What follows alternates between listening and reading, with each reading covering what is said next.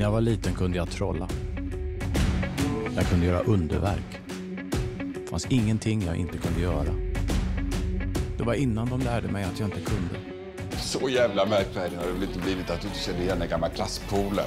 Jävlar vad kul vi hade det. Du har inte förändrats ett dugg, du. Det är precis lik. Det håller jag inte med om.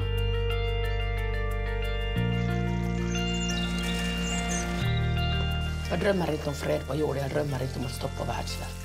Men jag drömmer om en enda morgon utan hårig punkt till frukost. Och så ska vi som vanligt avsluta med roliga timmen. Ja, fröken. Mamma, mamma. Lillebror är röd i ansiktet. Tyst ung och stäng ugnsluckan. Nej men Lila, uppmana honom inte. Det här är ju bara dina grejer. Det här kan du ju bara inte slänga. Och så börjar vi lektionen med att skratta åt tjocka gutter som inte kan komma över plinten.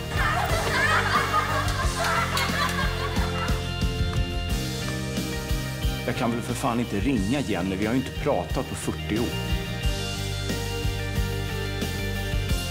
Om jag kunde förstå varför de ska vara så stygga mot Thomas. Ni bara förstör